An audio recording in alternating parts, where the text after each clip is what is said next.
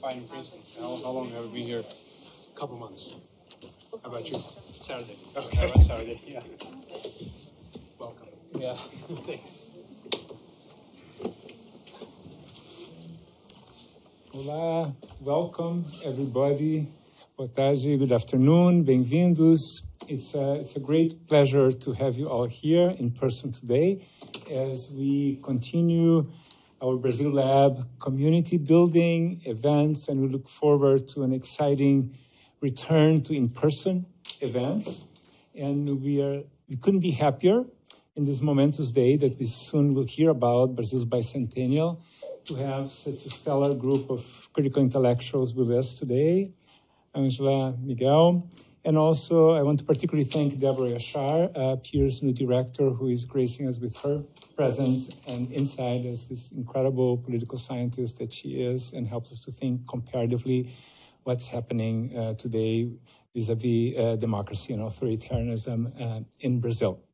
So, so this is going to be an exciting year. So we wel welcome you all to check our events on the website, to enroll on the listserv. And, um, and we also want to acknowledge our growing partnership with the School of Public and International Affairs that's helping to co-organize this event. And um, please stay in touch, check our events, and we want to invite you all to join us afterwards upstairs in the atrium for a welcome reception. So again, thank you for being here. Muito obrigado. E let's go. Tomás, our associate director, will introduce the event. Thank you. Uh, so yeah, uh, once again, good afternoon, boa tarde, bem-vindos e bem-vindas. Uh, welcome to what this is the, the very first Brazil Lab colloquium event of the year. Uh, uh, repeating a little bit what Joan said, I'm Thomas Fujiwara. I teach economics here at Princeton. Uh, I'm the associate director of the Brazil Lab at the Princeton Institute for International and Regional Studies.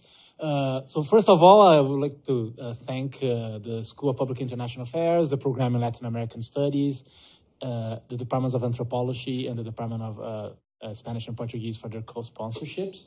And also forgot to say, also good afternoon, boa tarde for everybody watching at home or via YouTube to be more precise, since this is actually being live streamed, right, to the world.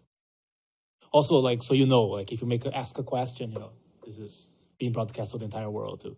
Uh, not that it, it, we have any reason to worry but I, I, guess it's good to always say that yeah so as most of you probably are aware we're only 25 days away from election day in brazil where incumbent uh, jair bolsonaro is trailing former president luiz inácio lula da silva uh, the, for the presidential race However, this is not a quote unquote usual election following the democratic standards that uh, Brazilians have grown accustomed to in the last uh, decades, right? In his three, oh, a little bit more than three and a half years in government, Bolsonaro has systematically attacked democratic institutions in ways that sort of fit a pattern we've seen in other parts of the world, you know, where a far-right politician engages in an attempt of uh, democratic backsliding into authoritarianism. Uh, in particular, you know, he has questioned the role of courts and frequently questions the electoral process itself, uh, mostly by claiming, without any evidence to support, that the Brazilian electronic voting devices are fraudulent, right?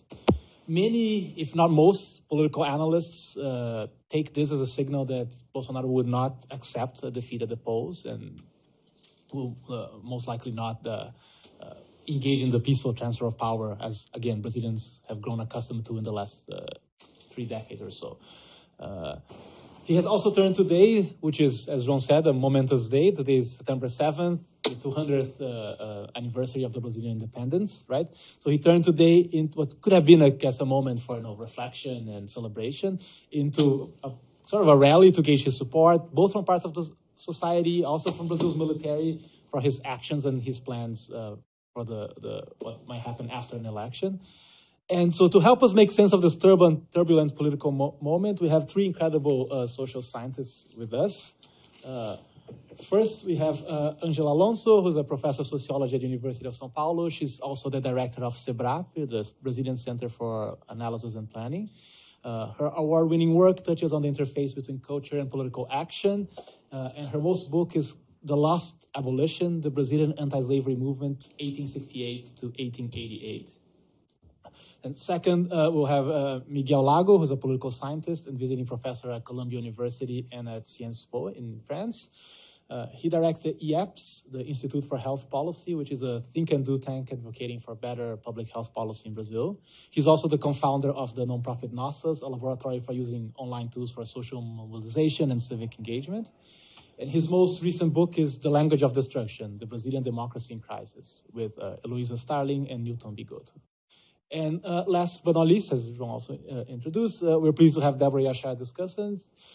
Deborah is the Donald E. Stokes Professor of Public Policy International Affairs at Princeton. She's also been recently appointed the Director of PIIRS, you know, the Princeton Institute for International Regional Studies, of which, the umbrella institute of which Brazil Lab is a part of. Uh, her scholarship focuses on democracy and authoritarianism, state making and citizenship, social movements, and immigration politics. Her latest book is Homicidal Ecologies, Illicit Economies, and Complicit States in Latin America. So this is our format for today. Uh, uh, Miguel and Angela will speak both for 10 to 15 minutes each. Deborah then will make a brief discussion and ask our presenters questions to get our conversation started. After that, I will take questions from the audience and we'll have a conversation from their own. Uh, so thank you all for being with us today. Uh, Angela, if you can please start. Yeah, thank you.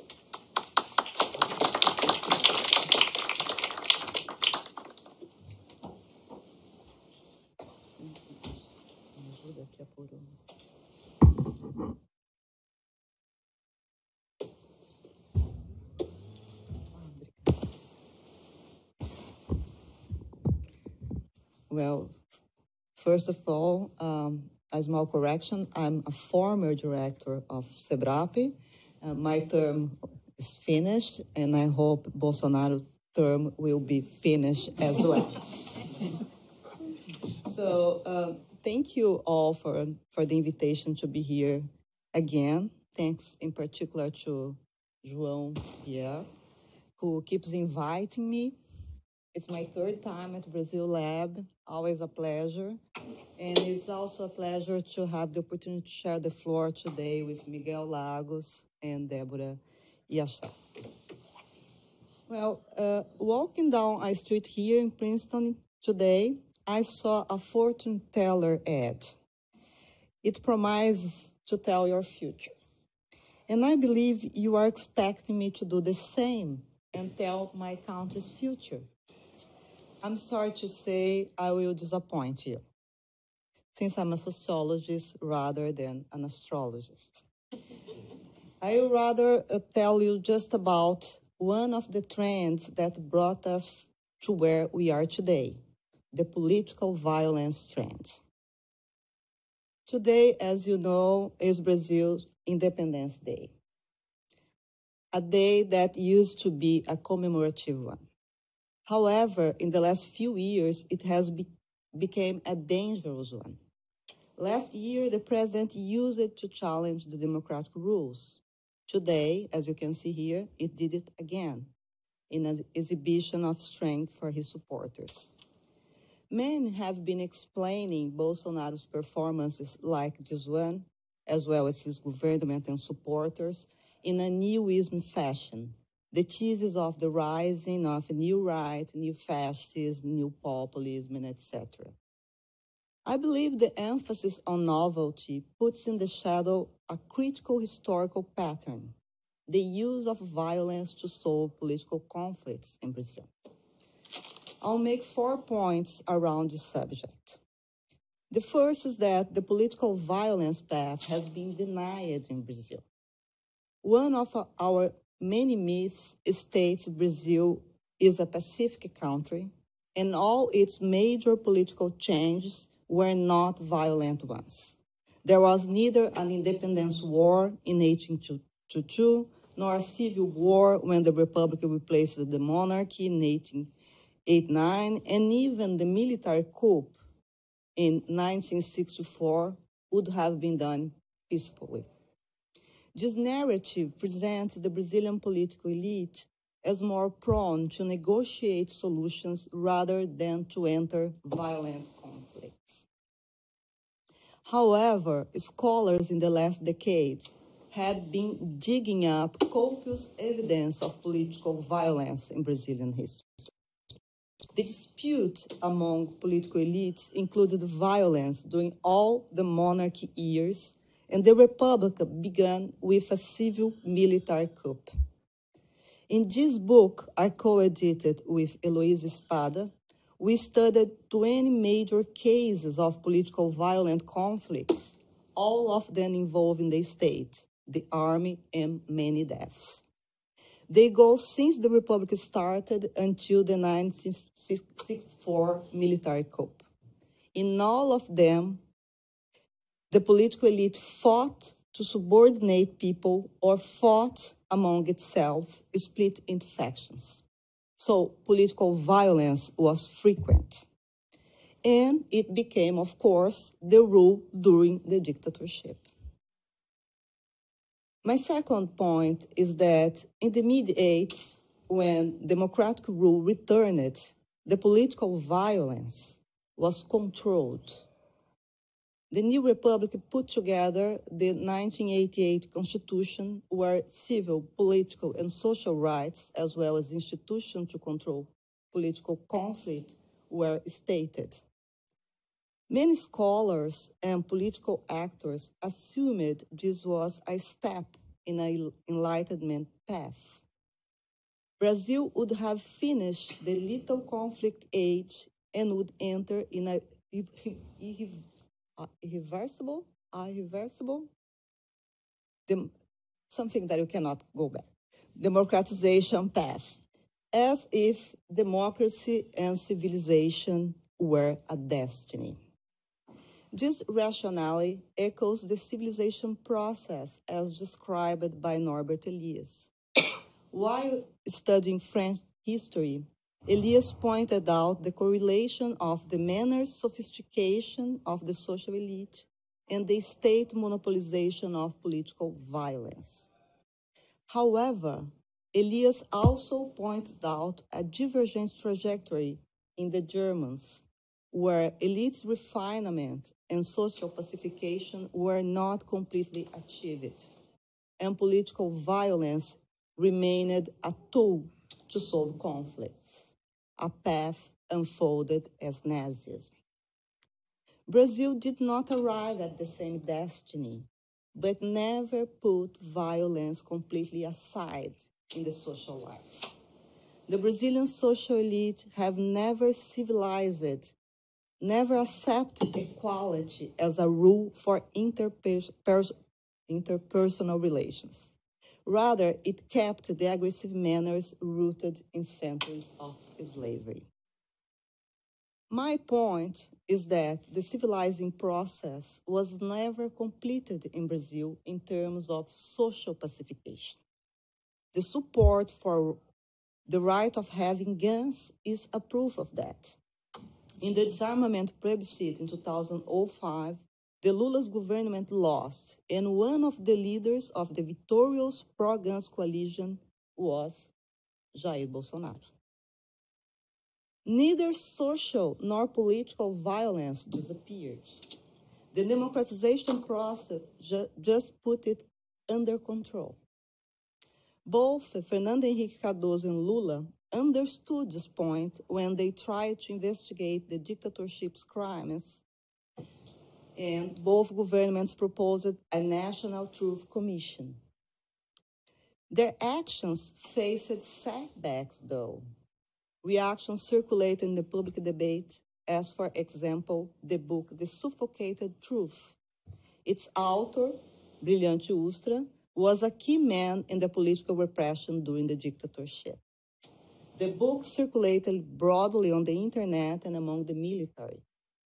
Facing reactions, both Cardoso and Lula stepped back. Dilma Rousseff did not. So the conflict came back when this former guerrilla became the president in 2011. In her inauguration, Dilma insisted on the commission and expressed sorrow for the fellow death, dead in the fight against dictatorship.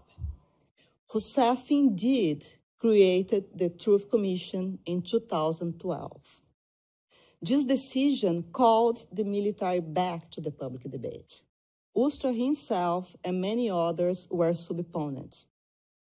The meaning of the military rule in Brazil became then a hot and national issue. Newspapers and social media discussed whether the military regime started as a coup or a revolution, whether the communist guerrilla was as or less violent compared to military repression. One side blamed the other for political violence. The Rousseff government left this conflict open. In the impeachment vote, Bolsonaro, then a representative, voiced the revolution against communism narrative. My fourth and last point is that when Bolsonaro was elected, there was social support for a leader like him. Many social movements arose in defense of military participation in public life and for the freedom of having guns. Bolsonaro was not alone. He represented part of the society, a moral community that shares his values. Around 36 of Brazilians will vote for him again. They are mainly white, middle-aged men.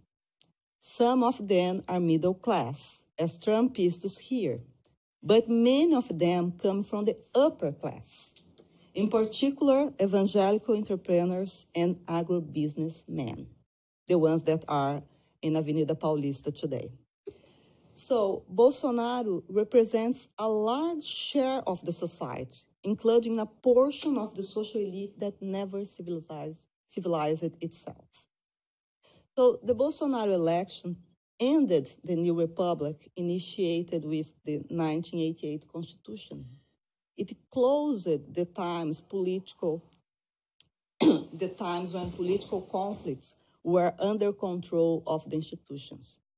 Bolsonaro's presidency placed violence as a regular tool in political conflicts. Gender, uh, symbolical violence against minorities, gender violence, racial violence, and etc., and against political adversaries presented as enemies to be eradicated. The president also celebrates physical violence and attempts to militarize society, for instance, creating military high schools. Bolsonaro also counts on what Charles Tilly called experts in violence, the collective actors competent to act violently, the authoritarian movements, the shooting clubs, the militia, and parts of the police. So he counts on most of the armed citizens and part of the armed institutions in the country. As Trump, he fears losing the election. But unlike Trump, he counts on support inside the army. How large, nobody knows. So part of the, the society is up to a Brazilian January 6th. To conclude, let me summarize. Brazil is a country with a long tradition of solving political conflicts by arms. The conciliatory nation is just a myth. Redemocratization did not pacify the politics for good, rather placed conflicts under institutional control. The Brazilian social elite never abandoned political violence because it's not completely civilized in the sense it never embraced democracy, meaning tolerance to the difference and respect to the rule of law as a way of life. The National Truth Commission was a key event to bring the military back to politics. So they did not come back with the Bolsonaro government. Bolsonaro just helped in their voicing. Bolsonaro represents a part of Brazilian society that thinks like him and supports him no matter what he does. His have supporters are organized in authoritarian movements or are common armed citizens. Unfortunately, this part of society will not demobilize if Bolsonaro loses the election. Thank you.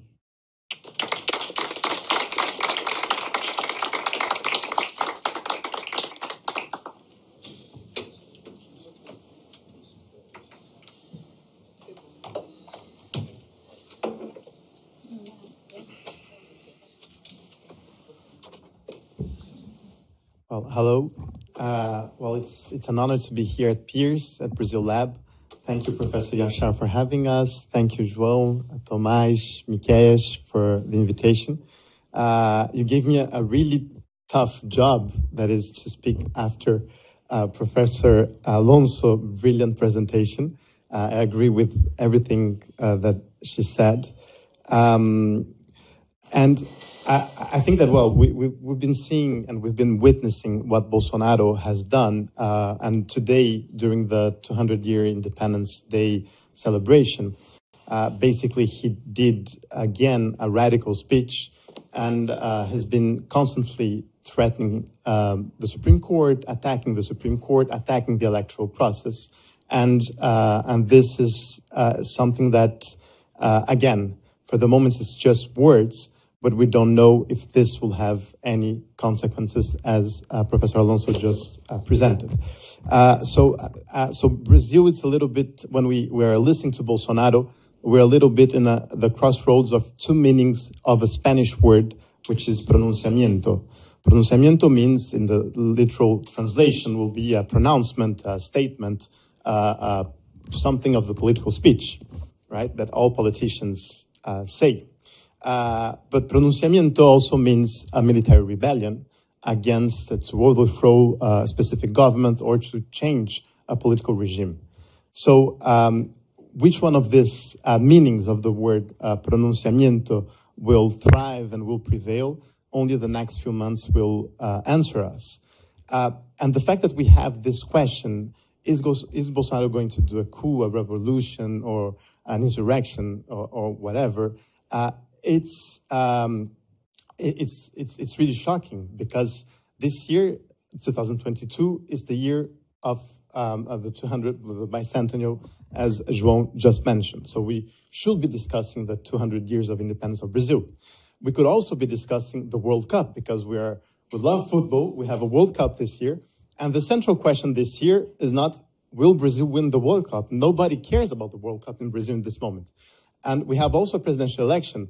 But the central question of this year is not who is going to win the presidential election. The central question is will Bolsonaro stay or leave office? And again, it's not the same thing of winning the election because he can always do a coup or a revolution. I, I was very criticized today in Brazil because I, I published a, a, an opinion piece where I'm saying that Bolsonaro is not planning a coup but a revolution. Uh, so I'm, I'm, um, I would like just to bring a few arguments uh, today uh, for why I think that there's he's setting the conditions for an insurrection. Let's not call it as a coup or revolution, but for, of, a, of an insurrection and for an institutional breakup. Um, and so I think we have like four to five reasons to believe that he has the conditions for doing so. The first one is that clearly he's attacking the institutions. He has been discrediting the electoral process for the past three and a half years.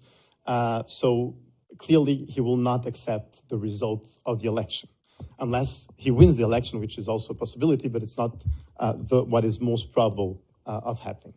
Uh, the second thing is that he has been uh, uh, doing rallies all the time, and it's amazing his capacity of mobilization of people in Brazil. So today, watching the videos in Brasilia, in Rio de Janeiro, in São Paulo, but especially Brasilia, was really frightening to see hundreds of thousands of people. The government says there were 1 million people listening to Bolsonaro's speech. I don't believe in exactly the, the, the numbers that the government said, but certainly uh, at least 100,000 were probably there uh, listening to, to the speech, which is already very scary if we take into account that all the demonstrations against, against Bolsonaro were like 10,000 people going to the street, etc., etc.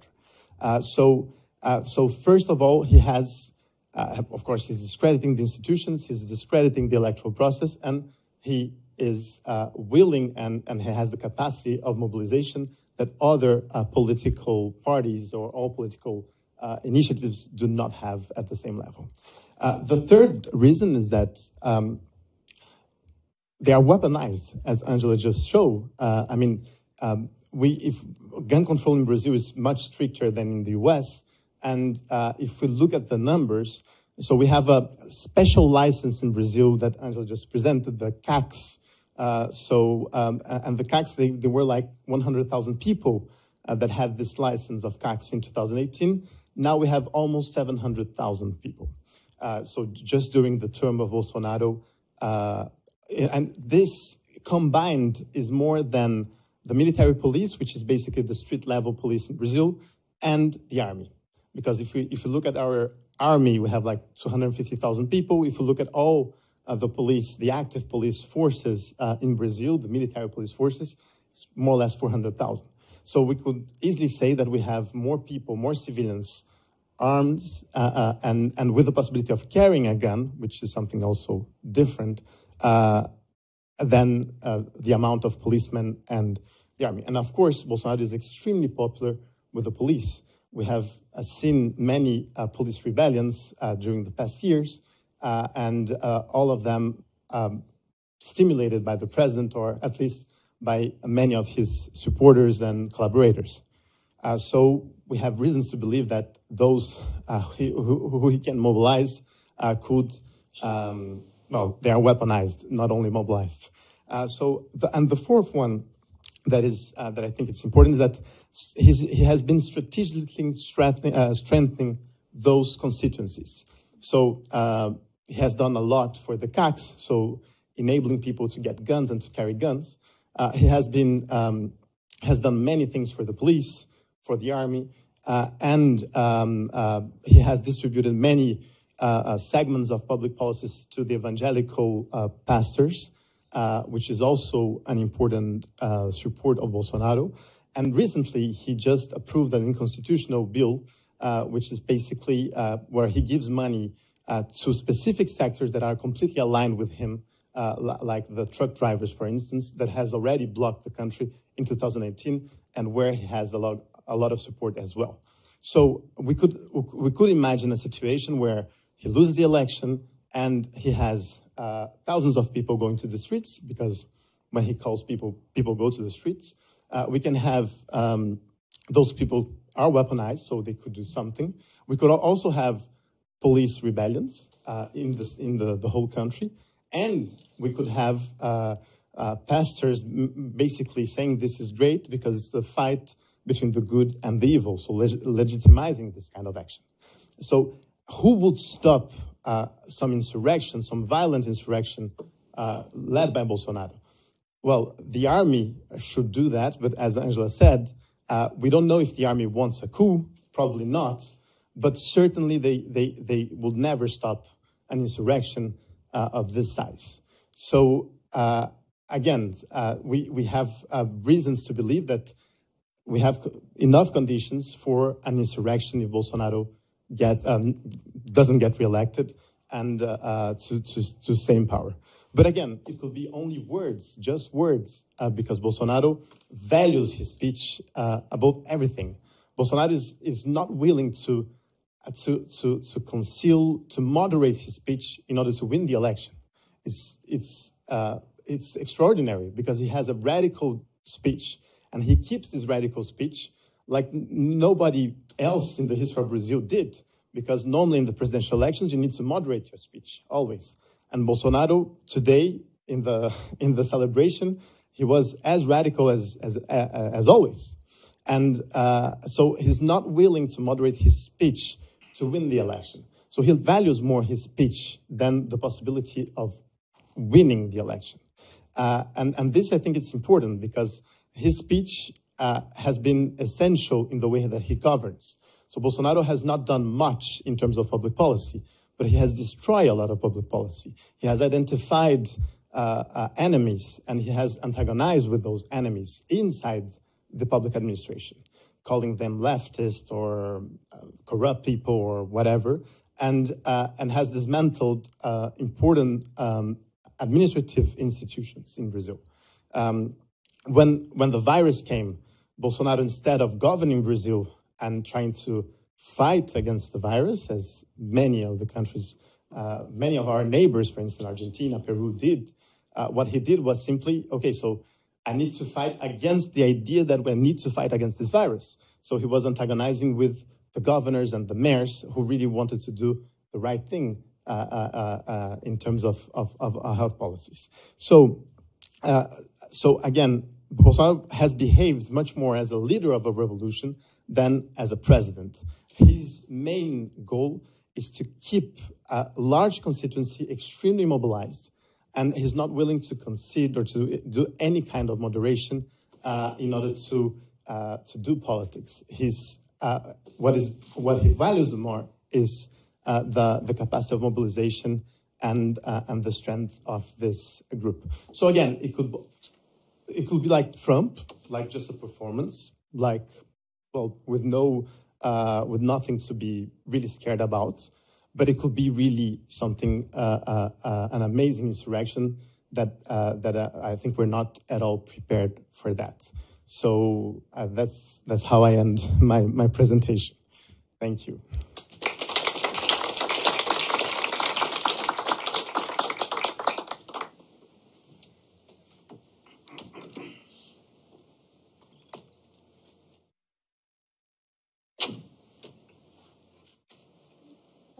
everybody. I'm Deborah Yashar, and I just want to start off by welcoming everybody um, to the new academic year. It's the second. You can't hear. Deborah, I hear you. This is what happens when you're short. I'll start again. no, no, that's good. It's good. So I, will just repeat by saying I want to welcome everybody to the start of the academic year. This is only the second day of classes. So first off, it's wonderful to see everybody in the room. It's wonderful to see everybody at the start of the year.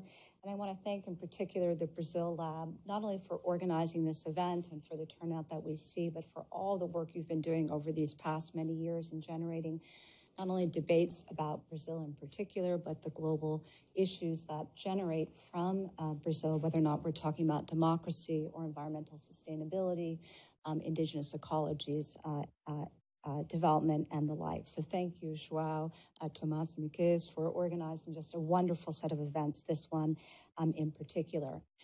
I also, before I make my comments, want to thank um, Angela and Miguel for their excellent uh, comments, I have to say after listening to this, I could speak for hours and I'm trying to figure out what not to say as opposed to the many things I'd like to say. So thank you for really enlightening us um, about this particular moment, depressing though it must be, and it is.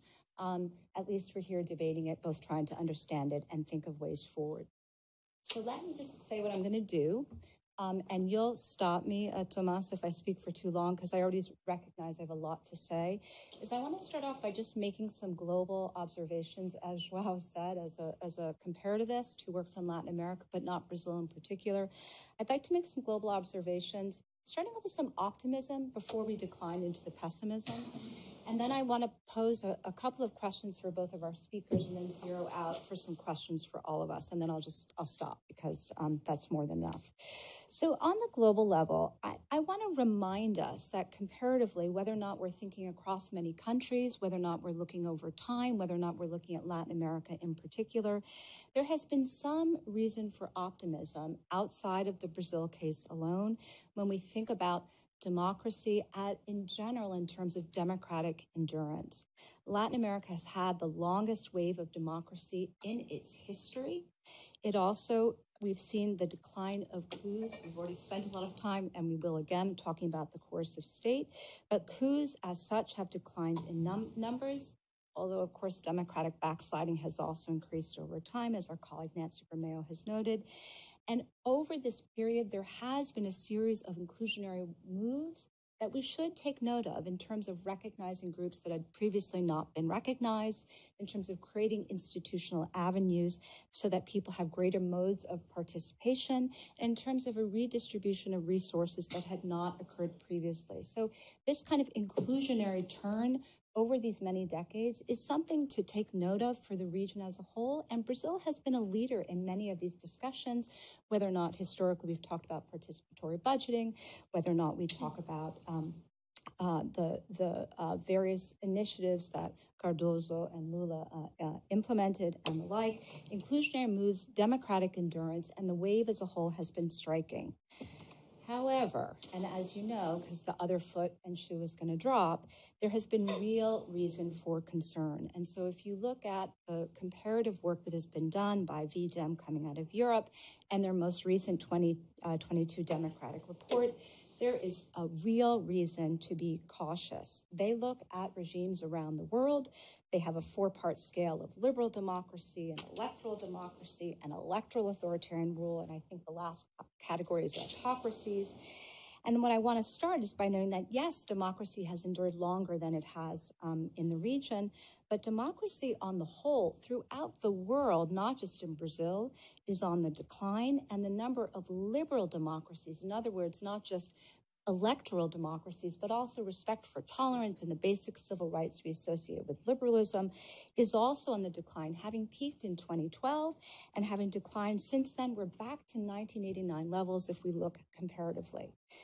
Moreover, autocracy and democratic backsliding are on the rise, not because of military coups, I want to note, but especially because of anti pluralist parties that have taken the lead in promoting autocratization, even if elections are maintained. So I want to quote from this because I want you to know the, the company in which Brazil um, uh, is placed. They say, quote, anti-pluralist parties drive autocratization in at least six of the top 10 autocratizers, and they include Brazil, Hungary, India, Poland, Serbia, and Turkey. So these are cases, of course, where people are being elected but as our speakers noted, they're hollowing, hollowing out democratic institutions. They're challenging the trust in the institutions that are in place. They're challenging the sense that elections are elections to be trusted and respected. They're threatening violence in its aftermath, as we've seen so clearly. And they are recommending and by example showing that politics should operate outside of political institutions, even for the biggest decisions that are in play. So in this report, I want to really emphasize that for all the optimism that we can say overall, it's pretty pessimistic, and Brazil pops up repeatedly as an example of the kind of autocratization that is in place. The other Latin American company here would be Nicaragua, Venezuela, and El Salvador, but for very different reasons. There are very different dynamics there. So Brazil is on a treacherous course. It is not alone. It is in global company here. And I want to reiterate what our speakers know. We, if we look at the polls, it seems that Lula is slated to win the first election and the second election. I don't want us to lose sight of this. Lula is slated to win, but as has been noted, Bolsonaro has been preparing the ground to discredit those outcomes and to engage in all the kinds of actions that have been noted. So, this is just the backdrop for the questions I want to pose to our speakers, because in some ways, the question for me as a political scientist is less why has Bolsonaro done this? We can come up with many reasons for this, but more, why is he able to do so? He's one person. So, this question of why this one person has the institutional, social, and economic support to move forward, to me, is the question both to explain why we are here and also where we can go, where we can expect to go going forward. In other words, not only where's the support, but where are the institutional guardrails to hold them back should there be these kinds of anti democratic and insurrectionary moves? So, for Angela, I have so many questions for you, but I think the ones I want to really emphasize here is in light of that question, you highlight that Brazil has elite, citing um, uh, uh, uh, other work, an elite that never really civilized, engaged in a civilized move. In other words, always accepted violence, didn't engage in that kind of civilizational move where they would not rely on political violence to go forward. And I'm going to really encourage you, invite you to elaborate on that particular point because I'm trying to think about what that actually means. What would be an example of a civilized elite that would accept violence? Is that about manners and refinement? That's sort of the term that, for me, that civilization evokes. Is it about outlook and ideology? In other words, it's your ideational understanding of how society should organize, less liberal, maybe more autocratic in their thoughts. Or as a political scientist, I just want to throw out is it about material and political calculations? That you use it when it's convenient. You can be tolerant when it's convenient, when you're not threatened, but you deploy violence when you can't ultimately get what you want. Of course, Brazil is so unequal.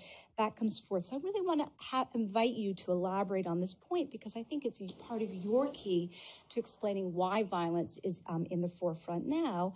And relatedly, why is it being deployed more now than previously? What is it about this particular context? If there's a longue durée argument about not being civilized, why this moment um, uh, in play? I have lots of other questions for you about the Brazilian myths, because of course there's the, the myth of Brazilian racial democracy and the myth now of political violence and why those myths take hold, I think raises the question of who believes them. And is this a myth that the elite believes, but others do not? So I think that would be interesting. For Miguel, I, I have a kind of related question, but in a different way for you which is you highlight that Bolsonaro has been able to use words. And we don't quite know if those words are going to come into action. And I want to understand from your perspective why people support him. You've told us who supports him, as did Angela, but what is the basis of that appeal? One could argue it's an argument about support because people believe in what he represents, although it's a pretty broad coalition. It also could be an argument of a kind of negative coalition, as Mark, uh, as Mark Beissinger has noted, of people are just frustrated with the alternatives. So is it actually a belief in this revolutionary project, whatever that entails, or is it actually a coalition of discontent where they don't see alternatives in the collapse of social movements and other political parties going forward. In other words, how has society changed from, from the first election to now, where he's been able to not just win the election, but sustain it going um, forward? Of course, the question of what his end game here, you kind of answered this at the end, but I'm not sure I know what his end game really is. And I think thinking about it in parallel with Trump would be really interesting.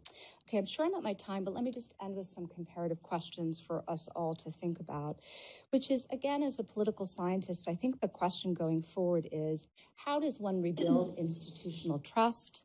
political and social organizations and those institutional guardrails that seem to be you know thrown to the wind. And by the way, one used to say in, in political science about Brazil that Brazil had weak institutions, had weak political parties, had a lack of trust. And then during Cardoso's administrations and Lula, there's a sense of it growing. So, uh, you know, we know that it can happen. How does that happen? Thinking about going forward. Two final things, and then I'll stop, which is material conditions were notably absent in our discussion today. And I think it's really striking that during the Lula years, this was a period of commodity booms that made all kinds of things possible in terms of delivery.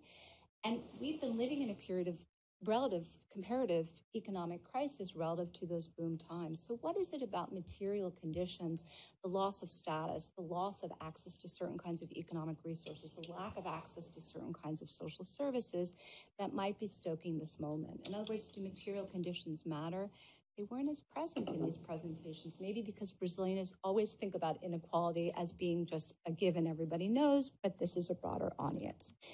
And then finally, I think the role of international politics is clearly in the background to all of this, because on the one hand, one could say that there's a process of international diffusion. In other words, we see that there's autocratization happening around the world. People protest, but it's still happening. It's not as though those guardrails in place. So, to what degree is there international diffusion where Bolsonaro is looking at what's working in other places and not? And again, what are the constraints that countries can play? And actually, Miguel, in your New York Times piece article, you noted that maybe countries can play that role, but it's an open question. International politics as negative diffusionary examples, and international politics as forms of constraints. So that's more questions than anybody could answer, but it's an example of how generative the, the conversation is, how important and critical this moment is, not just for Brazil, but on a global scale. I really want to thank our speakers for their comments, and I'll stop there.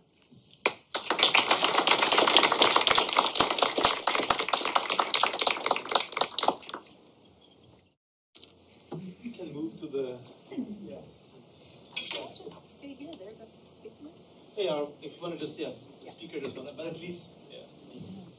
After speaking, you need to speak at the microphone.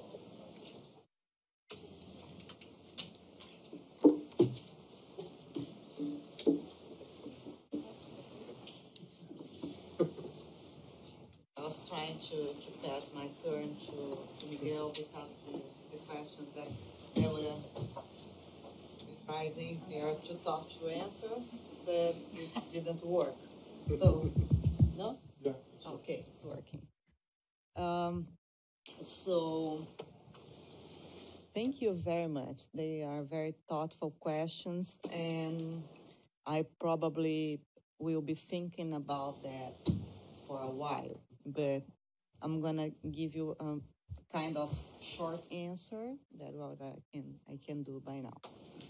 Uh, the first thing that you you asked, I think in more in more general terms, I believe for both of us is why is Bolsonaro able to do what he's doing, right?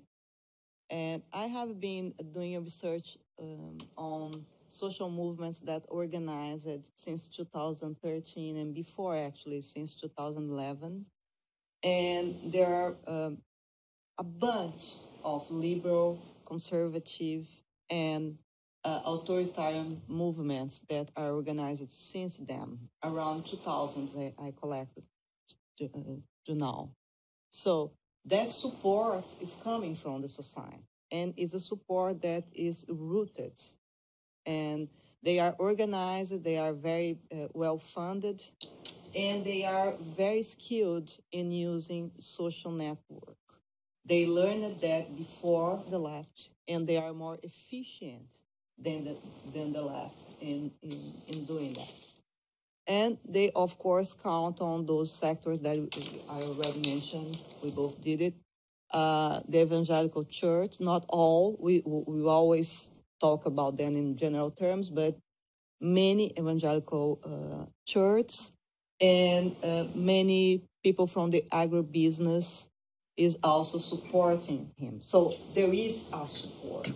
So you, as a, a, a sociologist who has been studying social movements, I always say to, to my students, there is no spontaneous mobilization. A leader do not go there and say, let's go to the street. So someone is organizing them. And I think uh, there is a huge structure organized, and part of that structure now counts with those uh, armed citizens, the Scouts. They are uh, around the, the, the whole country. So I think he has support, unfortunately. Uh, as about the hardest question you placed uh, about civilization, it's more substantial or is instrumental. Uh, I think here the difference is that I'm a sociologist. So I believe, as Norbert Elias, that, that I, I quoted, uh, uh, states, I believe that uh, you cannot sustain a, a way of organizing the social life in legal and political terms when the society is not, in a way or another, even silent, giving support to that kind of orientation. So I, I could quote Nazis, but I, I would say in my in the case I studied that is slavery. So you you for centuries you have a huge, especially in Brazil, a huge population of slaves that outnumbered their uh, masters. And the, the institution worked because it was seen as legitimate. So I'm talking about civilization in that sense. That in Brazil, civilization is not a way of life for, for everybody. We have a hierarchical society that's naturalized. And I think uh, my point is that especially the social elite is more prone to be in environments like that one, to come here, talk about the country and sorrow about our miseries than to solve the problems there. So I think I, I, I, I will include us.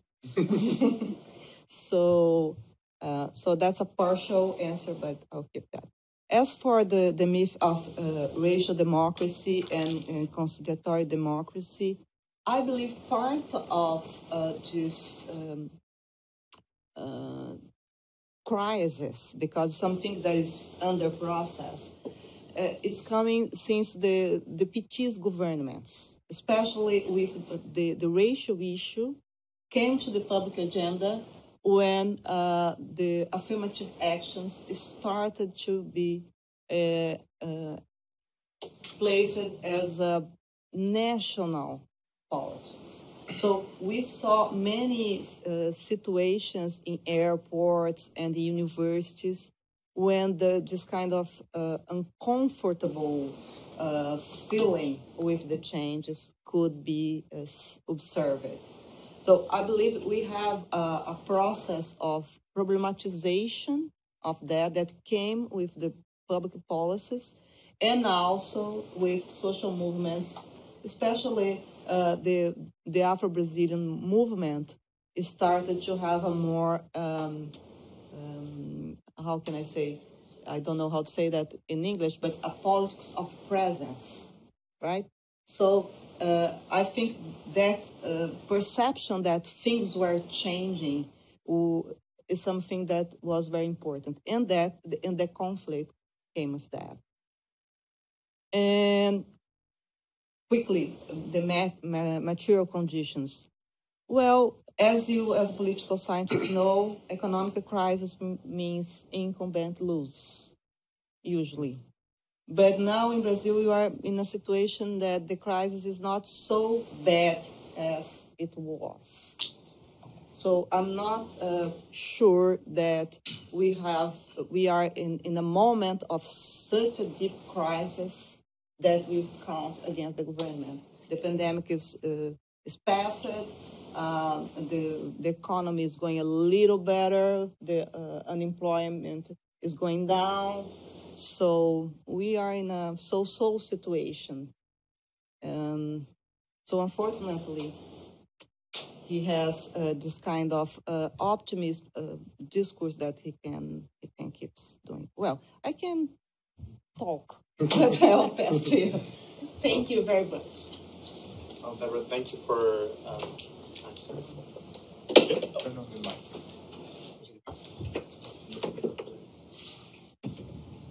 Ah. Well, thank you, Deborah, for the remarks. And, and uh, I think the, the question that you raised for me specifically, uh, the, um, why, uh, why is there such a support uh, to Bolsonaro? Uh, I think this is the $1 million question because, uh, well, as Angela mentioned, the material conditions are not the best. Um, but we know, for instance, also in political science literature, that um, well, there, there are ways for an incumbent incumbent to um, to, to, do, to do blame shifting, to uh, basically uh, deresponsabilize uh, himself for uh, for his government or for the actions of his government. So um, I, I, think Bolsonaro has been very successful on doing that. And the example of the pandemic, I think.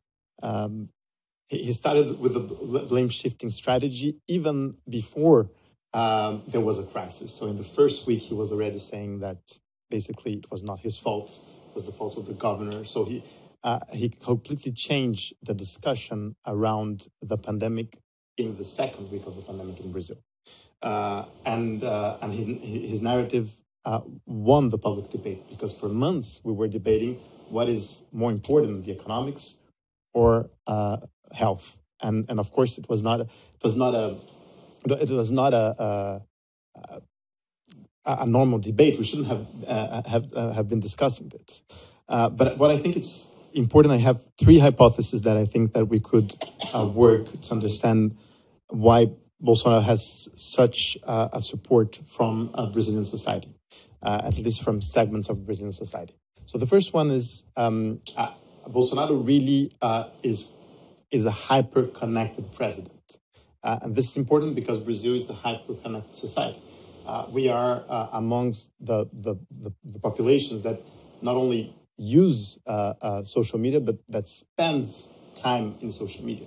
Uh, we, the Indonesians, the Indians, so um, all countries where far right has been uprising. but so, so I think that the the um, the idea that that uh, the hours that you spend in social media and the way that you behave yourself in the social media, where you're not a person but you're a profile, and uh, everything that you say matters, and uh, the way that you connect to people and you rally uh, to causes or uh, people is uh, comes from a profile and not from your true personality.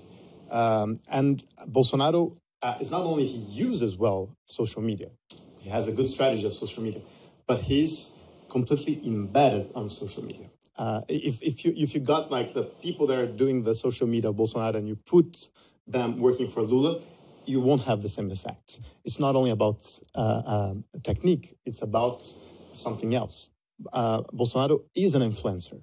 The best thing he did in his whole life, uh, the only uh, um, place where he excelled was as an influencer way before becoming president. So when he starts the idea, uh, he starts using social media really well in 2013, and he, become, he, he becomes one of the most popular influencers. So from a, a mediocre congressman that he was, uh, he became like someone extremely important. And, uh, and this is important because the way that uh, social media connects, and especially Facebook, especially Twitter, uh, uh, is always through opinions. So basically, it's the empire of the opinion that matters, and Bolsonaro has an opinion about everything as everybody, every profile in social media should have. So we need to have an opinion on uh, how uh, Guardiola uh, has um, um, managed his team in the last uh, in the last game. We need to have an opinion about the election in Chile. Uh, we have to have an opinion about everything, but not everything uh, is an opinion. And Bolsonaro does that really well. So I think this is there's something there about the sociability and the way that you um, of the profiles that uh, that Bolsonaro uh, uh, is really strong uh, because of this link. So I, am not. I, I, like Bolsonaro not because he represents my interests, like uh, uh, like a transactional relations, but because I agree with him. So I think this is new because my profile agrees with his profile, and because I connect with a lot of people that also agrees with him and with me, and I'm somebody in this social media. So I think this is very powerful and needs to be more more studied. The second uh, hypothesis I have is that it's about the evangelical, and as Angela said, we have a diverse uh, uh, evangelical community in Brazil, but more specifically, the neo uh, neo Pentecostals in Brazil uh, are very influenced by uh, the North American churches here, and and, and, they and and they are very Bolsonaristas more than the other evangelicals and Protestants and Catholics, etc. Uh, and um, the, it's not only that Bolsonaro is um, helping them, is not only that Bolsonaro is defending their interests and the interests of the, their church, he is, but Lula also did that, uh, Dilma also did that, the PSDB, the party of Cardoso, the right-wing party, also did that. They were always instrumentalizing religion and, uh, and those churches in order to get votes, always. But it's different, Bolsonaro, because Bolsonaro uh, is connecting his speech with uh, a theological interpretation uh, that the Neo Pentecostals do about uh, about the world. So, for instance, for those Neo Pentecostal church, the, the the, the the book of the Apocalypse is something extremely important, and uh, uh, some of the actions that Bolsonaro takes that for like um, atheist, bourgeois, left wing communities would seem like completely absurd, uh, uh, like, for instance, not using masks during the pandemic. Uh, but, well, the reading of many pastors in Brazil was the pandemic was announced in the apocalypse. Uh, and in the apocalypse, it says that uh, even though people uh, would like to, are not aligning themselves with the devil, but they are wearing the, the, the, a marca da besta. How do you say this in English? Beast. Mark of the beast. The mark yeah, of the, the beast. The stain, the beast stain. Uh, and the beast stain is the mask. So when once, uh, uh, so when we see Bolsonaro not using masks with a, a super mortal pandemic, and we say he's completely responsible, uh, well, perhaps somebody has another uh, uh, reading of the situation. He's in fact doing not using masks, is not consenting to the devil, and we are the chosen ones. So, so I think this also uh, uh, there's a, a, link between a, a, theological reading of politics that I think it's it's important in Brazil in this moment. And the third one is what you mentioned, the negative coalition. That I think it's definitely super important. Uh, Bolsonaro, what, what what he does that is extremely powerful is that he says to someone who has power, uh, exert the power that you have, the micro power that you have. So uh, if you're if you're a, a, man and you want to beat your wife, it's not my problem. It's not the problem of the state. Uh, we should uh, uh simply uh, deregulate. We should uh, fight against the feminists. All social constructions that were built uh, to uh, prevent uh, the, uh, the abuse of power in, in all scales, it's something that Bolsonaro is constantly saying, look, you can go, go with it and, and, and, and, and, and make whatever you do. So this is the discourse to the police, it's the discourse to the men. And, and I think that in, in, even in a very unequal society as Brazil, this is something that is really strong because in a given situation, you can exert power even if you're not necessarily a powerful person. But you can also uh, you can always exert power uh, uh, towards someone who's more fragile than, than yourself in a given situation. So I think this is very powerful, and I think that also explains uh, something that uh, explain or could help to explain why the elites adore Bolsonaro. Because it's not that they are it's in their interest to, to, to protect Bolsonaro, but they adore Bolsonaro. Not all the elites, of course, not the intellectual elite, but the economic elite, in, in, in, a, in a strong way, adores Bolsonaro. And I think that could, could have something like that. I mean, the, the, the fancy clubs in Rio de Janeiro and Sao Paulo have celebrated the victory of Bolsonaro as they never celebrate any victory of any right wing candidates. Uh, so it's something that uh, that speaks to, to uh, a little bit of what Angela was telling about our history and the behavior uh, of our elites. So that's it. Hey, uh, thank you so much, Angela, Miguel, Deborah, for giving us so much to talk about. So in the kind of little time we have left, so we'll take questions from the audience. So let me do the following. you can raise your hand. I'll sort of collect questions in bundles and then let you guys figure out who wants to answer what. Yes, uh, go ahead, Pedro. Hi. Oh, yes, that's a I, good. I, I can. because people are listening to. Yeah, I think there's microphones. Yeah, uh, can use these microphones, yeah. Thank you. I, I think it's been um, streamed, right?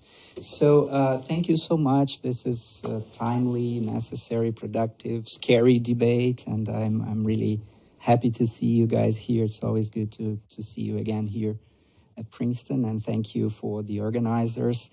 Uh, I have two questions. Uh, one is, uh, Miguel, you sounded uh, less apocalyptical today than you sounded yesterday when we had, we had coffee. I had nightmares uh, last night. um, uh, because you said yesterday, basically, that you, you are afraid that, well, we know that Lula may win, but very likely will not win in the second in the first round. But then you were afraid that in the second round, Bolsonaro might win in the ballot, in which case uh, they wouldn't uh, he wouldn't need a January the sixth in Brazil. So I wanted to hear more about this, and I wanted to know if. Um, Angela shares this uh, uh, view.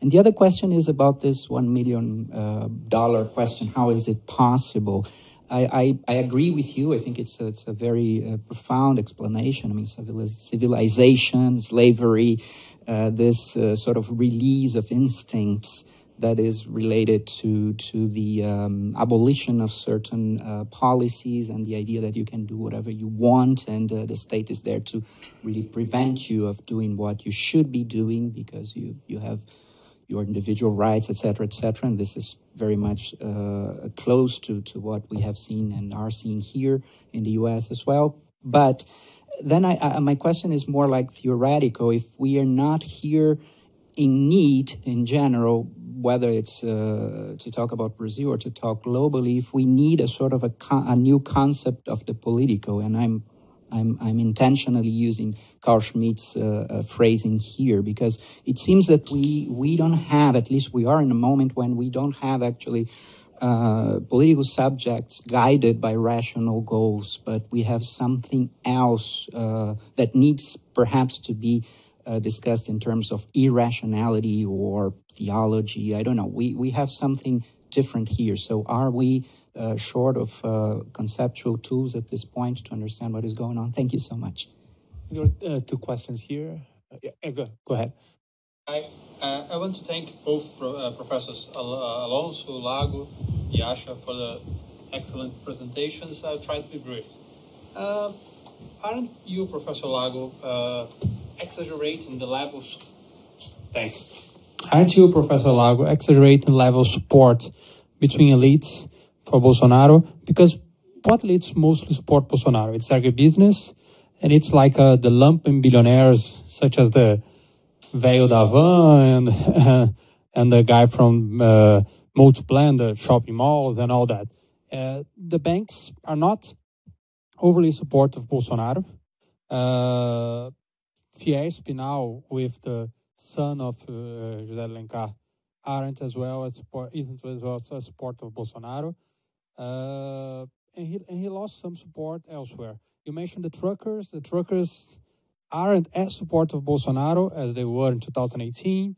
So he he is very capable. Bolsonaro is very capable of mobilizing enormous uh, number of people, but that's kind of to be expected for a guy, for a president who is uh, using the bully pulpit and uh, and his 30 something level support continue, continually for the past three and a half years and before that.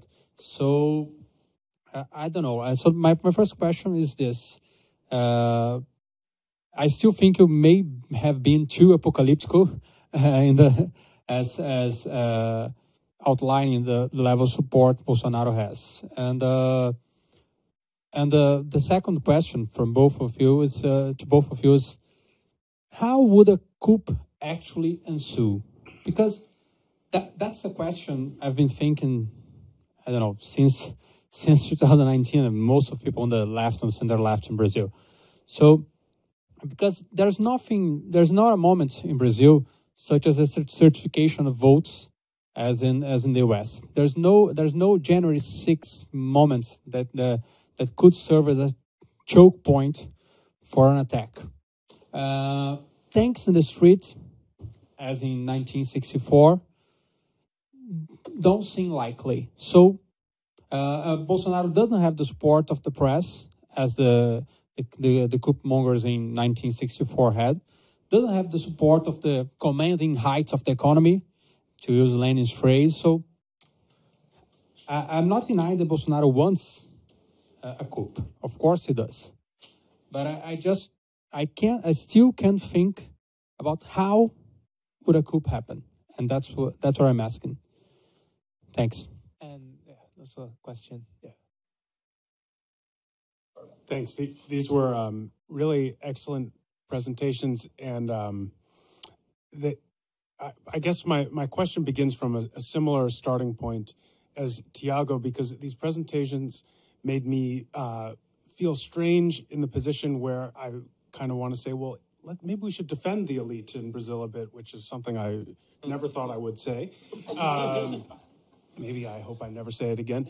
Um, but uh, it, it, does seem that actually uh, the story with the elite in Brazil is a bit more complicated than it was in 2018. Um, and that, in fact, particularly with the reappearance of Lula as the candidate of, uh, of the center left, that uh, you know he, he's more acceptable to the elite in Brazil as a, can- a presidential candidate than probably he ever has been as a presidential candidate.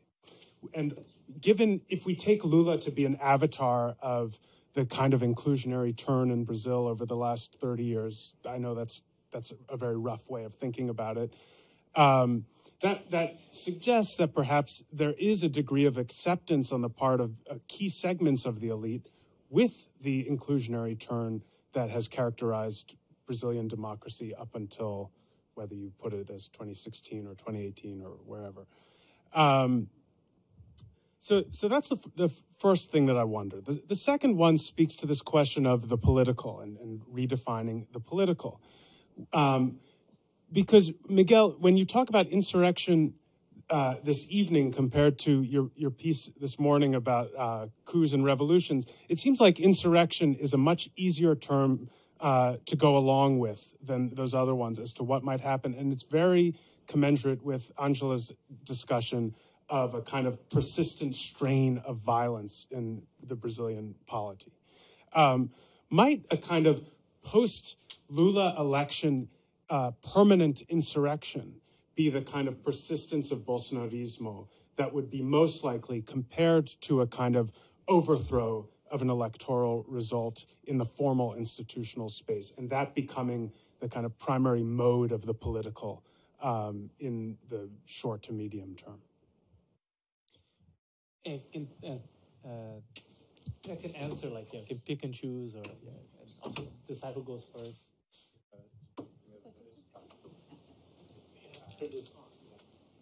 Okay, so uh, first, I hope I was too apocalyptical because I don't want to see this uh, happening. Uh, and uh, so, so this is the first part. Uh, no, I agree with you that a part of the elite uh, is against Bolsonaro, and I think a part of the elite was always against Bolsonaro.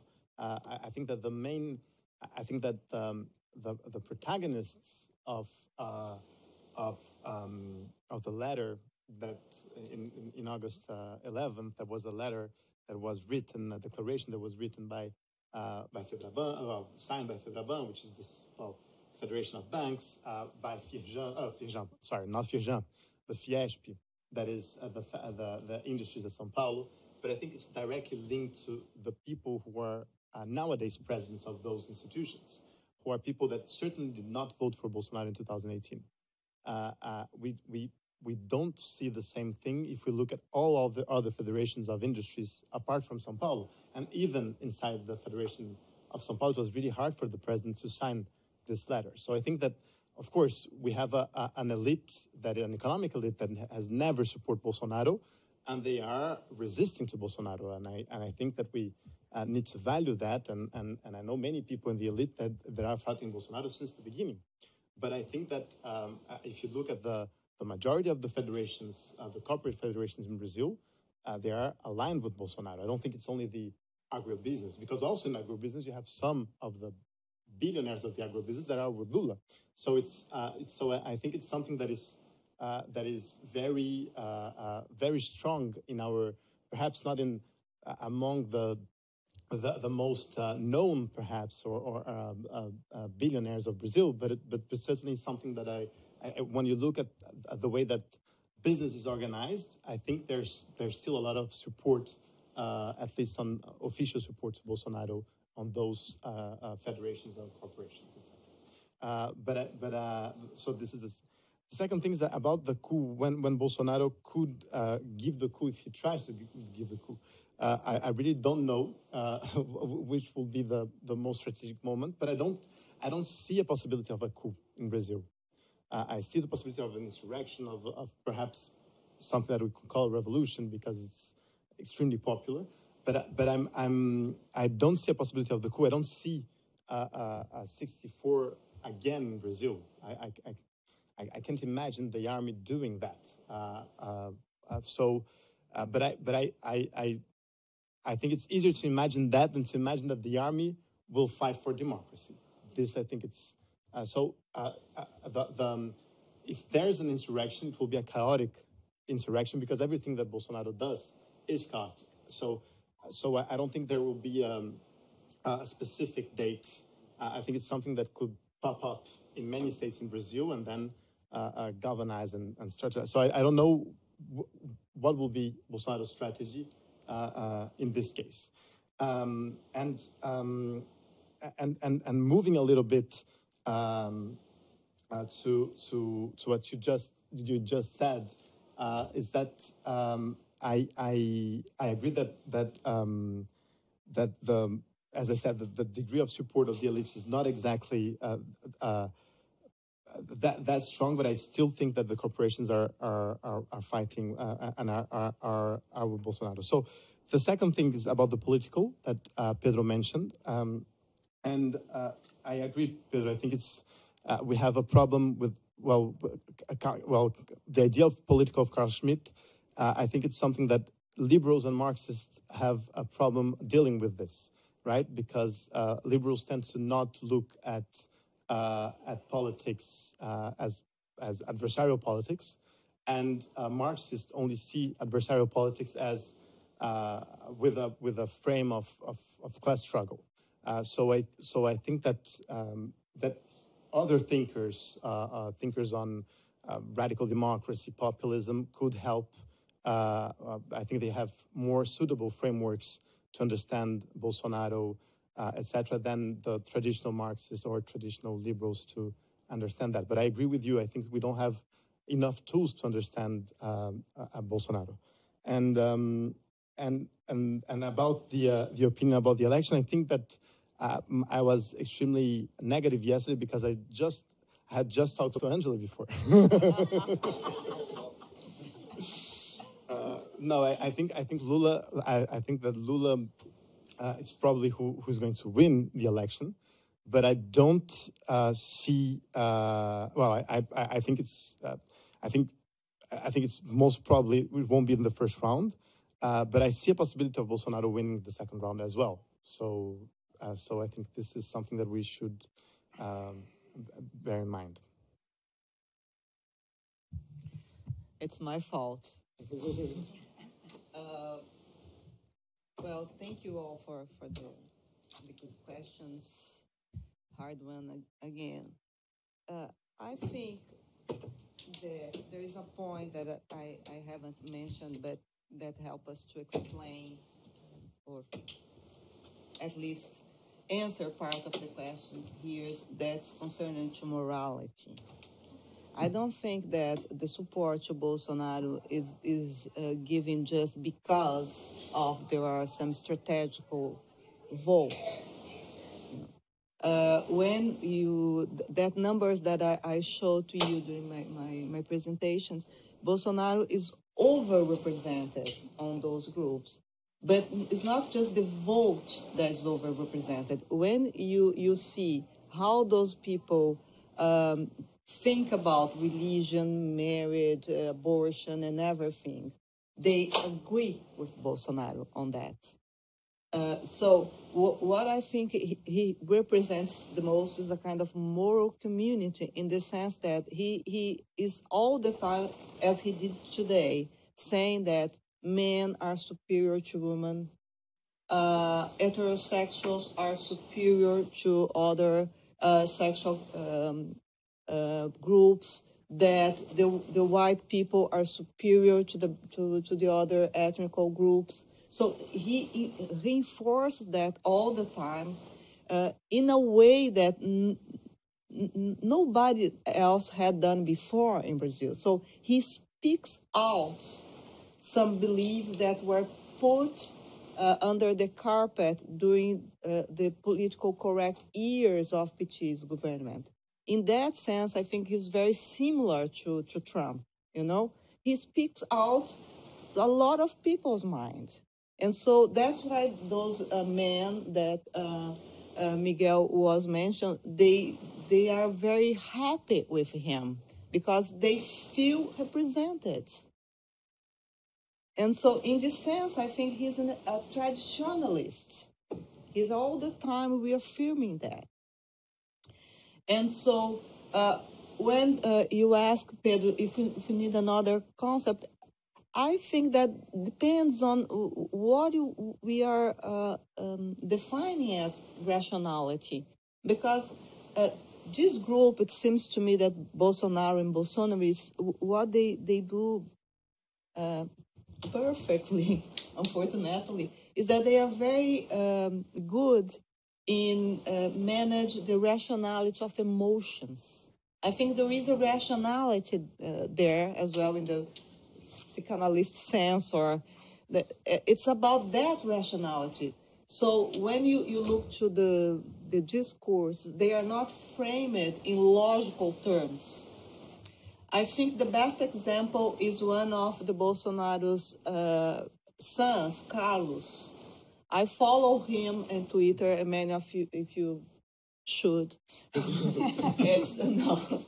Uh, there was a joke in Brazil some a, a, year ago, I think, that if you, would like to to do uh, um, to write a tweet like Carlos do, you write any sentence in one language and then you put in the Google Translate into any different languages, and then the, the, there, there, there you are going to have a sentence because there is no uh, structure. There is not a, a, a way of thinking there, you know? It's not that kind of rationality. But he communicates. It's a feeling that is, is, is communicated. So I think there is a kind of rationality of emotions that they, they manage very, very well. And, but of course, new concepts are always welcome. And, and as for the coup, uh, as uh, Thiago uh, mentioned, uh, I think that as we see, if, if, if you look at the day after of all coups, uh, there is not exactly a key moment that the, the, the, the coup occurred. It's a process, right? So what we have been seeing in Brazil is that institutions uh, have been failing in control Bolsonaro in the last three and a half years. So that's the process of uh, democratic institutions failing all the time. Uh, every time that someone has to go on Twitter or TV and say the democratic institutions are working, is because they are not. Right? You don't you, you don't have to, to say that all the time. So I think it's a process. In, in, in that sense, we can be trans, in, in a transition for something else, for an autocracy, as you mentioned. I don't know, but it's a possibility. What I, I'm as a pessimist, I, I'm a pessimist. Uh, I think it's more, um, it's possible. It's that in case Lula wins the election, and I, I think, contrary to you, I think Lula will win the election. Uh, I think political violence will take the streets. And so they are going to fight the Lula supporters. They are going to uh, go to Lula himself with. So this kind of more uh, so, social diffused violence, I think, would be more important in terms of disaggregating uh, democracy than uh, the army going in, inside the Congress. And if they go for one institution, they certainly will go to the Supreme Court. Bolsonaro has been all the time uh, talking that the Supreme Court is that is uh, preventing the, the, him to, to govern.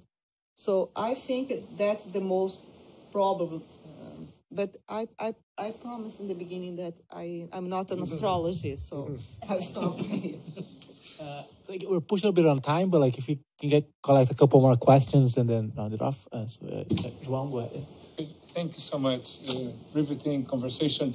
Uh, you talked very little about the Workers' Party and and the left. You talked very little about the Workers' Party and the left. And I we have very few minutes, but let's say if you were to be able to talk to Lula's campaign, you know, what would be like one or two to do things to wrestle with this complex authoritarian figure and process, right?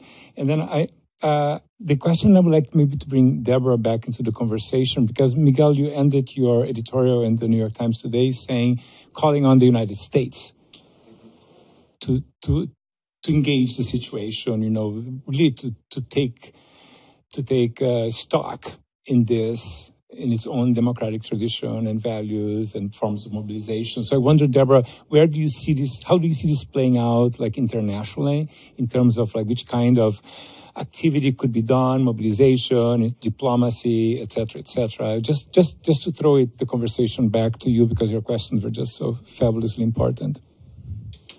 And there was one more. Uh, Angela, Miguel, I wish to connect the my question with the previous discussion. Okay, it's a little bit orthogonal to to the last question, but I think it's important. You both mentioned the possibility of an insurrection movement, uh, and and uh, you commented some sectors of the society which are more prone to support this. The, the traditional Bolsonaro supporters in, in the economical elite, military other other guys. I wish to talk in, in case. Let's suppose I believe this will happen. I don't know the scale, if in small scale like uh, Flamengo and Vasco after a match, or if this will take several weeks. Or, but in case uh, we have an insurrection movement uh, and it may scale up, which other sectors of the society you think are more prone to organically move, uh, move in the direction to support this because it's scaling up, or in the opposite situation, it, is, it starts and scale down very quickly which groups among the supporters, the traditional supporters, are more prone to fall down very quickly from the support to to this kind of uh, anti-democratic movements. And I think was one last. Yeah, there was one last one here. Okay, great.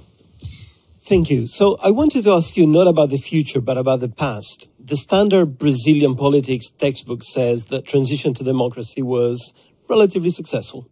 It was late in coming, but it was successful. So the big book, uh, 1999, called Democratic Brazil, it's optimistic. Then 10 years later, there's a second book, and it's called Revisiting Democratic Brazil. And he goes, well, half full, half empty. The third edition, 2017, it's called Democratic Brazil Divided. And my question to you is surely we are living under a lot of political decay now, but surely the cause of decay is not just Bolsonaro, dreadful as he is. So my question to you is should we not be rewriting the story of Brazil's transition to democracy? Because just listening to you now, it looks as if this was a far more checkered question, partial process of democratization that what the standard literature suggests. And I think it was one last question. Uh, the majority of studies dealing with uh, political science and religion in Latin America usually deal with religion as a catalyst for uh, radicalization and nationalism. What what would you say to to religions? What they can do to stop uh, these sorts of of uh, radical of of, of, of nationalisms, or in what ways can religions be not just catalysts for nationalization, but moral breaks against authoritarianism? Yes. Uh, wants to go first? Can I make a suggestion? Yes. I'll go first so they have the last yes. word. Yes. Okay, can I do that? All right. Um, I just jumped the queue because I don't know if you heard, I wanted our speakers to have the last word. I didn't want to be the last person. Um, so thank you, Joao, for your question. But if I could boldly revisit some of the earlier questions, because I loved the questions and the responses, I, I just want to really emphasize that what I'm taking from the comments is that we really have to think about politics, maybe to this point, beyond material conditions and class, and to recognize the moral backlash that happened against this earlier period, right? So if we think about the earlier support for, for Lula, it was very much based on an understanding of class and also an uh, aspiration for more racial democratization and inclusion along all kinds of dimensions. And Angela, you, ha- you highlight for us the, the many ways, as did you, Miguel, in your comments, about how how it's not just certain elements of class, not class writ large, but certain class elements along with religion, along with race, along with gender that created a moral backlash in response to an inclusionary term, but also a collapse of a political party system and social movements that, by the way, the other word we didn't mention, which not only lost momentum, but also in the context of a major corruption scandal so that that that distrust in the system also was was was was consequential. And I think that emphasis of thinking about morality and moral coalitions, but in the context of a backlash, um, particularly for those who lost steam, to me, that parallel with, with Trump is a really striking one and one to um, to consider. So that's the first thing, if I could, I wanted to note. The second is, I think this question, um, Pedro, that you asked, that I might partially flip parallels something I've been thinking about um, today, which is that the political response and the po- and politics alone isn't only going to happen in the context necessary. Well, maybe be less dramatic here. I don't think the only possible solutions are respect the elections and a coup and insurgency. I think the other scenario is the one that you just highlighted, which is ongoing disobedience in the streets, both in general, through the media, at the local level, at the gubernatorial level, at the courts. There are all ways in which disobedience can happen. And I, I think that scenario is equally, if not more likely, that there will be a big up, upsurge in response to having lost. That's already prepared. It's going to be words. There might be some actions. I want to hope that those actions will be contained in some way, but I think that it's stoking the the fire in a way where there will be sustained disobedience because institutions are not respected, information is not respected. That's a parallel with what's happening in the United States as well. And that's a kind of paramilitary, parastatal, more disaggregated, diffused response that, that you folks highlighted. So I, I just wanted to reiterate that and emphasize that. And I think this speaks to your question, Pedro, because in part, politics then is no longer just about elections. Well, liberal electoral democracy is no longer just about elections, respecting the elections, and then going back in a Schumpeterian way.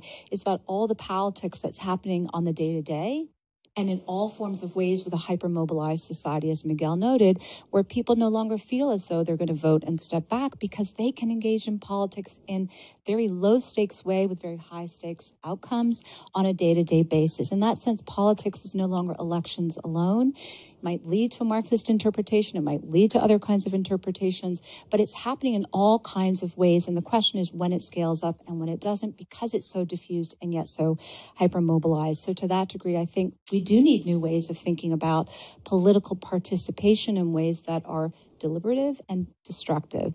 And then finally, Joao, I don't know how to answer your question because I'm not really an international relations scholar, although John is, and maybe he has something to say here.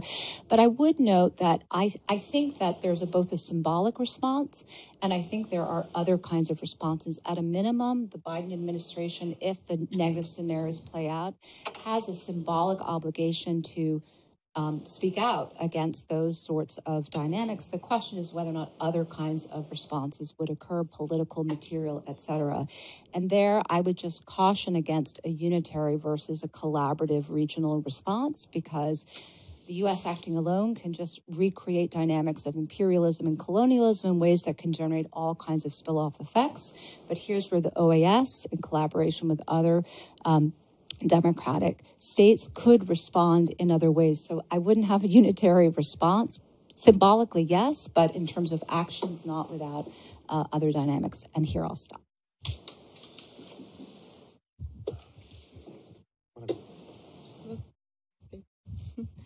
Okay, thank you for, for the questions. Um, I I'll start with Matthias. Uh, I totally agree with you. I think we have this very optimist um, reading of what happened to us in, in the last decades. So we we when I, I, I say we I say uh, people like us who write in the press, but most of the academics studying the, the cases.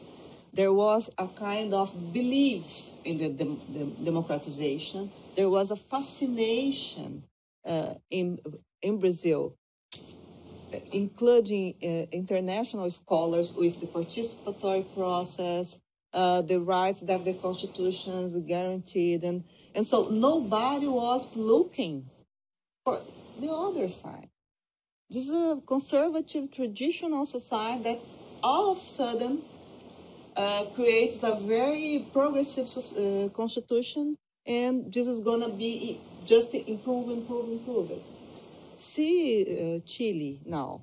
So that constitutions do not represent the country. And in many ways, the 1980 constitution do not represent Brazil. That's the point. And so I think the, the scholars deny that.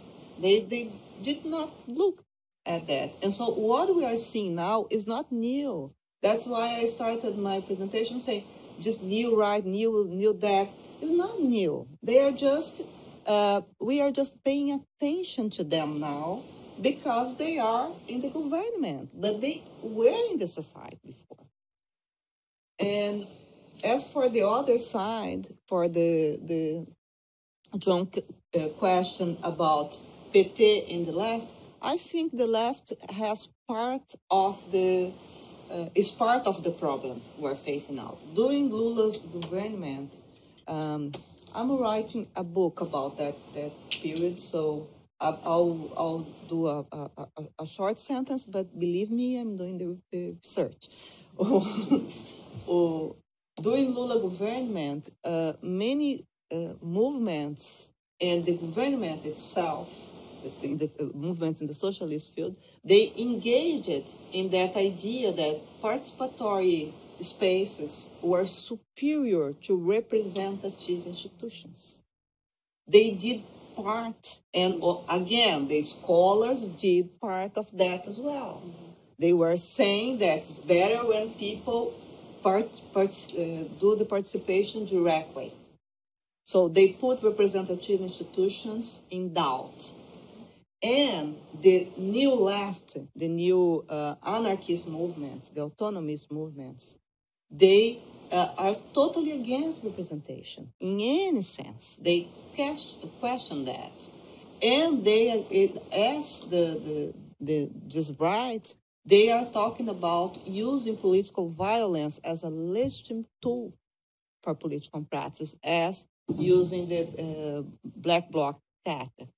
So I think part of the problem came from the left itself. It's not just that the other side was organizing, but that this side was also questioning the, uh, why to have this kind of representative democracy. So you have a confluence of things going on uh, here. And quickly about religion. Well, I think that uh, we have part of, and uh, many polls have been um, showing that we have uh, Catholic, most of the Catholics, and most of the Afro uh, Brazilian religions, and the other um, religion minorities they are not supporting Bolsonaro in the same level. But uh, I'm, I want trust that they will uh, organize in a way to, um, you know, fight him.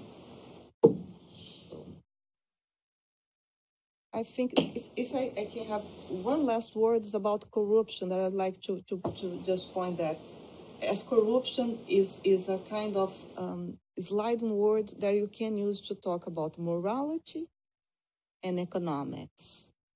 And most of it's part of the, lead, the, the economic elite that we have been saying that they are not support they, they are supporting Bolsonaro. What they say, and part of those more centrist Democrat PSDB people say, never in this country no one uh, robbed as much as PT. Well, we do not have numbers. As scientists, we cannot say that. Politics can say that, but we cannot accept that as a, a fact, right? So we, cannot compare. But that's now a kind of mainstream in the media and, in every uh, place that you look to. And so there is just this, uh, that is, very useful for Bolsonaro discourse because he says, uh, we have economic, uh, we have political and moral corruption, and I'm gonna fix both. Thank you. Uh, so, so the um, the scaling up question. Uh, I think that if if there's an interruption and if uh, it scales up, uh, if it's in the second round, right? If if Lula wins in the first round, it's but it's but I, I, I don't think that will happen. Uh, it won't scale up, in my opinion, because the scaling up uh, need the uh, in the second round uh, need the support of um, a part of the status quo, and and I think that the political status quo, which is called the centrão, that is very corrupted, and in this moment they are with Bolsonaro, they were with Lula, they they will be with Lula, uh, but but the fact is that uh, the the centrão could participate to this this venture after the second round, not in the first round, because in the first round is the moment where they get elected as congressmen. So they have spent millions to get elected, and they don't want to redo an election uh, after that. So, uh, but but I, but I think that in the scaling up, I see this as, as an opportunity and a part of the army because we need to. Um, uh, we have, I think, eight thousand, all between six thousand and eight thousand people uh, from the army working in civilian roles uh, uh, inside the, the federal administration, which is completely absurd. so, I mean, I don't think that the army will do a coup, but again, if if there is a scaling up, why not support indirectly? Um, uh, the, so that's uh, that, that's how I see. the the question to Lula, uh, I don't know what I will say to Lula, but I uh, I think that Lula uh, has a strategy that I don't think uh, it's. Um, I mean, it's it's it's a good strategy because it's it's working to a certain extent, but it's but it's uh, I don't think it's enough because Lula what he's saying he's only speaking about the past. So when I was the president, we had a good time, you had a good life, uh, and this is true, and uh, and this is strong. Uh, but I think that again, his he needs to to also create desire uh, amongst electors to um, to win this election. So I think that he, he should be speaking a little bit more about his vision for Brazil and his vision for Brazilian society. That, that is something that Bolsonaro makes very clear. Uh, and, and, this is something that we didn't mention, but the, the, uh, the idea of creating horizons of expectations, Bolsonaro does. Lula is creating, a, well, he's mentioning a horizon, but that passed. Uh, so, so I think this is something that, that should be definitely something that they should be doing, in my opinion. Um, then just getting here the about the uh, about Matias. Matias, I agree completely with you, and uh, and I think we need a to some extent a new transition uh, again. I think there's something that I think the election of Bolsonaro means something uh, for for this transition uh, and for for the for the democratic period that we we've we've been living since '85. but but I think that it's again, something didn't work out, as, as Angela said about the Constitution. Uh, I, I, have the impression that uh, I have a different impression uh, from Angela that I think that uh, uh, the PSDB, the PT, the PMDB, they were uh, they, they, wanted to create a, a, democratic government, but they didn't care to create a democratic society. So I think that I think the PT cared about that before becoming government, but once it was in government, social movements should not uh, mobilize themselves, should be in the government working with us and supporting the government because there's always the right wing that is uh, uh, staging a possible uh, uh, uh, defeat for us in the next election.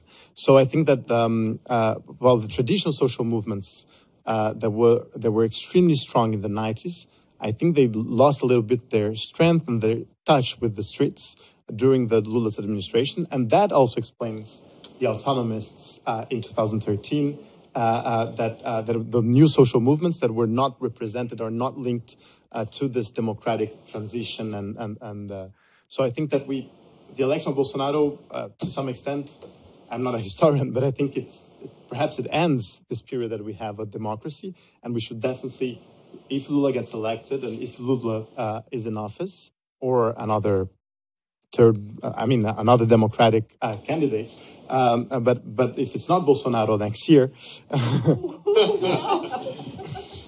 I think I think they're they're Ciro Tebet. I don't know. Oh. Yeah. so that,